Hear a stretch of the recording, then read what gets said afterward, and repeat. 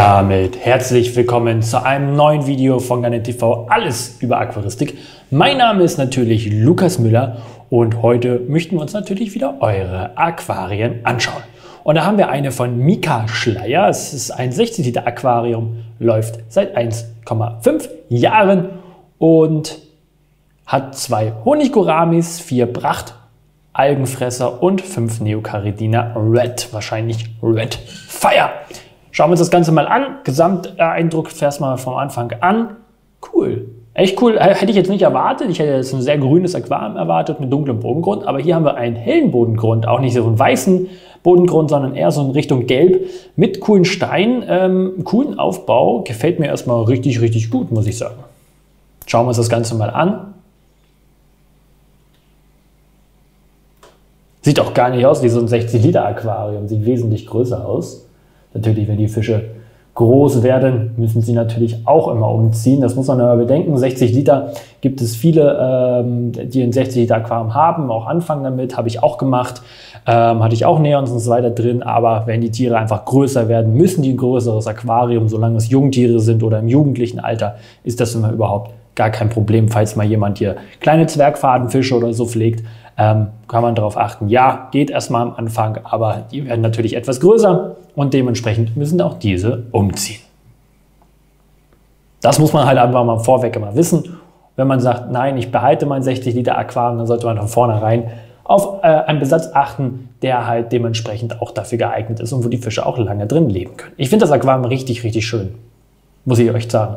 Ist ein bisschen trübe noch, Wahrscheinlich äh, sieht es auch relativ umgestaltet oder so aus. Ah, Schärfe! Da ist nochmal Schärfe. Und das war es dann auch schon mit dem Video. Ähm, gefällt mir richtig, richtig gut. Daumen nach oben. Was sagt ihr dazu? Jetzt haben wir hier ein 30 Liter Aquarium ähm, von der Lucy und sie würde sich freuen, wenn sie mal rankommt. Besatz sind fünf Glühlichter, leider nur noch ein Kupfer und anfangs vier Red Fire und durch Nachwuchs mittlerweile 12 bis 15. Sehr schön. Das schauen wir uns natürlich auch an. Ja. Vorweg, die Fische müssen da raus. Ähm, das ist nicht mehr artgerecht. Diese Fische, die kann man so ab 60, 80 Liter halten. Die mögen das gar nicht, wenn man in so einem kleinen 30 Liter Aquarium lebt. Da würde ich dir ganz empfehlen, Lucy, nimm diese schönen äh, Fische raus, pack sie in ein größeres Aquarium, gib die ab. Ähm, aber die gehören da wirklich nicht rein.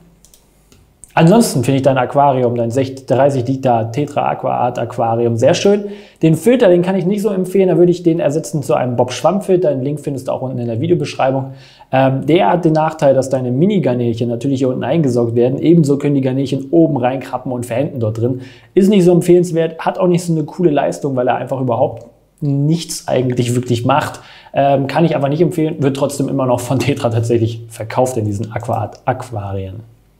Schön große Mooskugel, haben einen schönen Echolaris, also schön gestaltet auf jeden Fall. Die Fische sehen auch ja, ein bisschen unterernährt aus, sind auch noch relativ jung. Trotzdem würde ich dir empfehlen, diese ab 60 Liter tatsächlich zu halten, wenn nicht sogar größer.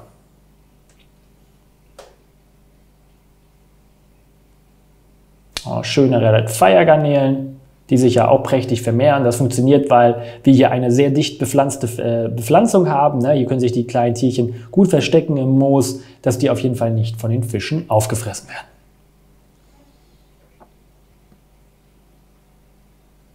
Ja, vielen Dank dafür. Ich hoffe, ich konnte dir einige Tipps geben und hoffe, dass du vielleicht das auch umsetzt dass dort 30 Liter wirklich zu wenig ist. Es gibt immer wieder äh, Aquarien, wo wir das sehen. Ähm, ich will immer gar nicht so oft dazu was sagen. Es gibt auch eine Empfehlung, dass man äh, Fische erst ab 60 cm Kantenlänge in Deutschland hält. Ähm, ein, eine gesetzliche Empfehlung. Ähm, und ich finde, wir sollten uns schon daran halten, das wirklich in irgendeiner Art auch so zu tun. So, dann haben wir ein 45 Liter Aquascape Aquarium. Hallo Lukas, ich bin ein Riesenfan. Ich hoffe, es geht dir gut. Ja, mir geht es wundergut. Hab die weiße Zähne gezogen bekommen und fühle mich Gott sei Dank halbwegs fit. Oh, das tut mir leid, das tut bestimmt mega, mega weh. Ich habe Glück gehabt, ich habe gar keine weiße Zähne, deswegen muss ich da gar nicht erst richtig durch. So, schauen wir uns dein Aquarium oder dein Aquascape auch mal an. Und da haben wir eine richtige Wiese, sage ich mal so. Ähm, ein lustiger Aufbau, finde ich theoretisch.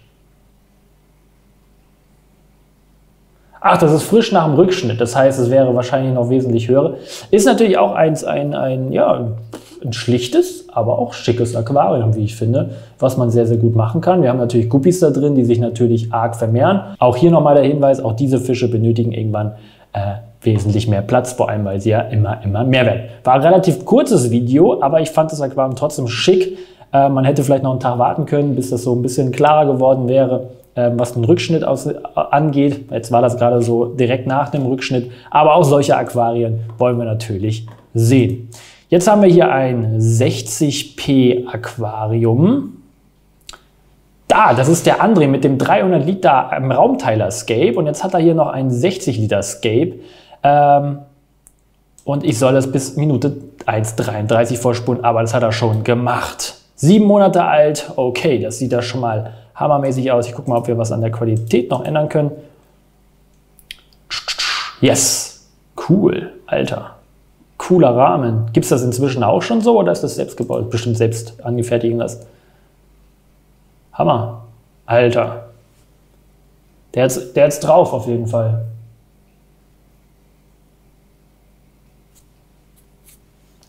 Ich würde mal sagen, schweigen und genießen, oder? traumhaft.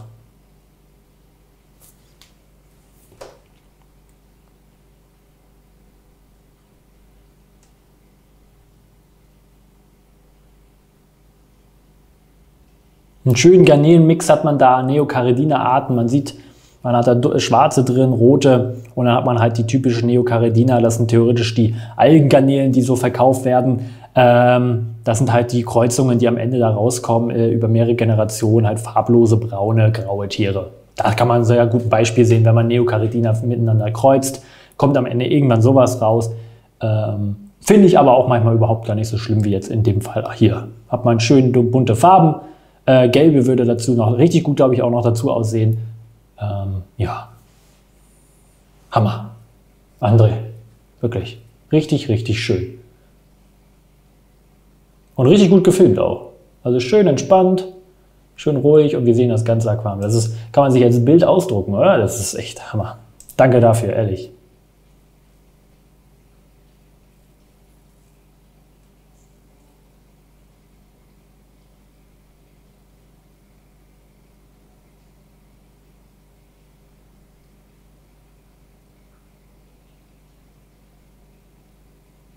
Okay, vielen Dank dafür, André. Hammer. Schauen wir uns dann nochmal ein 54 Liter Aquarium an. Äh, der Tor, der ist 17 Jahre alt. Da heißt er wirklich Tor? Ah, steht kein anderer Name.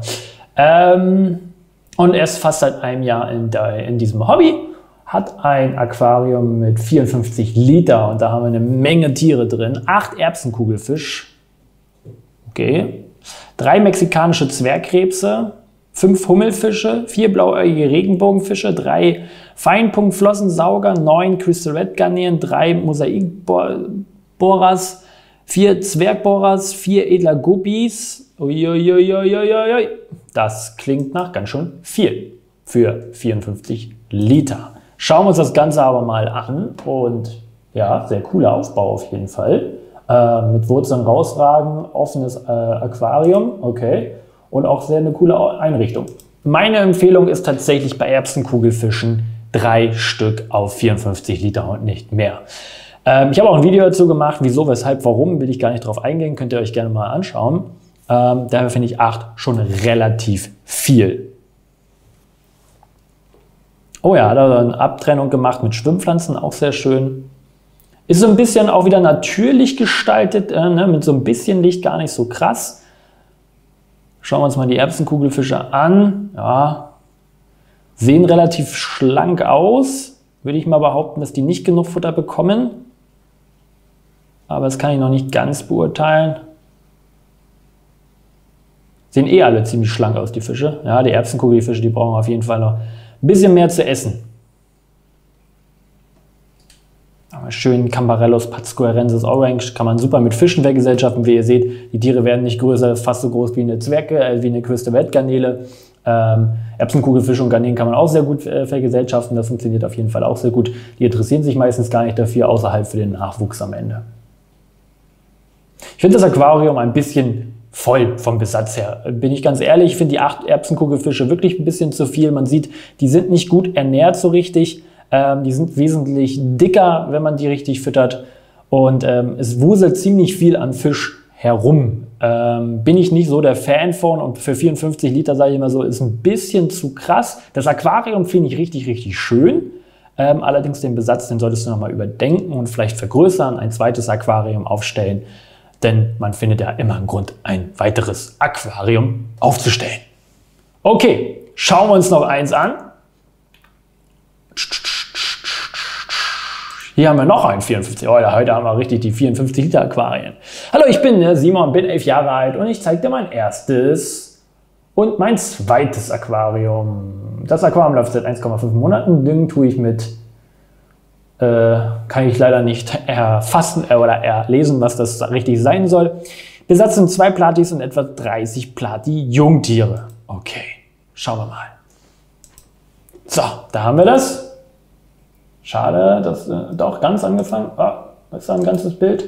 Da haben wir auf jeden Fall ein Zucht, Aufzuchtsnetzbecken, äh, wo die Jungtiere wahrscheinlich drin sind, haben wir die beiden Platis und das ist richtig schön zugewuchert. Hat trotzdem eine coole Gestaltung hier mit den Steinen drin, dort auch. Ähm, ja, schön.